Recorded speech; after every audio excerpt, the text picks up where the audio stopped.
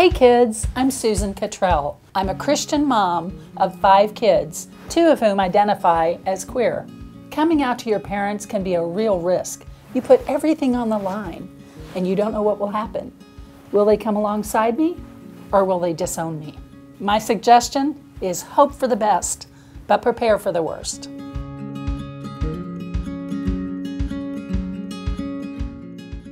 Step one, take care of you. Make a plan. If you're in a position of risk, if you're still living at home, or if your parents are paying for your college, then you need to weigh that out carefully. It can be soul crushing to wait till you're beyond your parents' support before you come out. But that might be the safest thing to do. You have to decide when the time is right. When you do come out, have a plan of what you'll do if things go bad. You could have someone with you, or have someone on call, or go to a public place. Over the years, I've helped a lot of young people come out to their parents. Here's how some of them did it. One woman put campus security on speed dial before she came out to her parents in her dorm room. One teen was used to his parents throwing Bible verses at him. So his grandmother went with him to come out to his parents.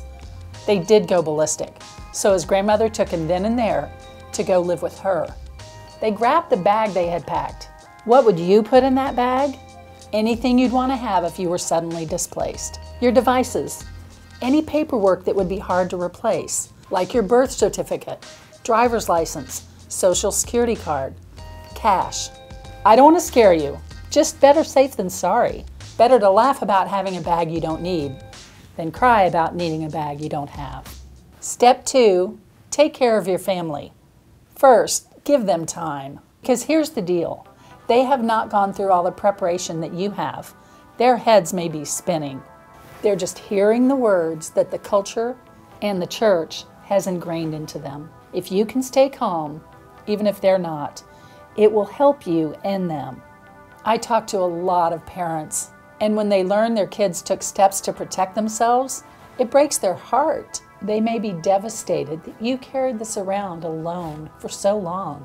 If that's the case, Tell them you're all good, all is well. They have nothing to regret. They didn't cause this. All is well. And you do need them to be there for you and love you now that you've come out.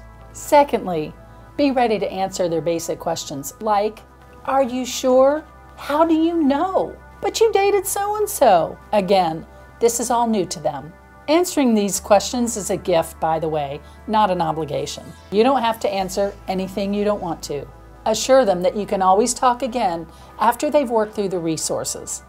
If you need help finding things, go to freedhearts.org resources page for lots of things you can share with them. All of this only holds as long as they're respectful.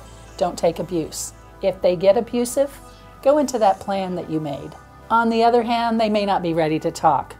You may have to wait. That's fair. Step three, recognize that your parents' response reveals them, not you. In other words, if they say terrible things to you, that's because that's in their worldview, not because you deserve it.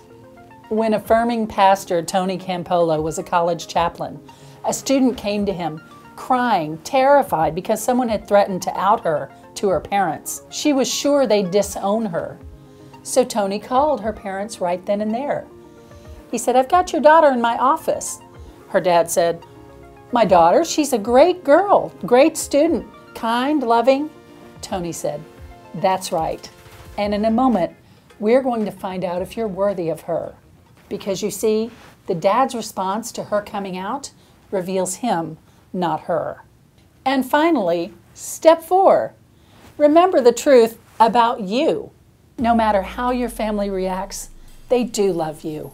They just may be so clouded with fear that they've lost sight of that. But it's still true. I don't know what your mom or dad will say, but I'll tell you what this mom says. You're worthy. You belong. You matter.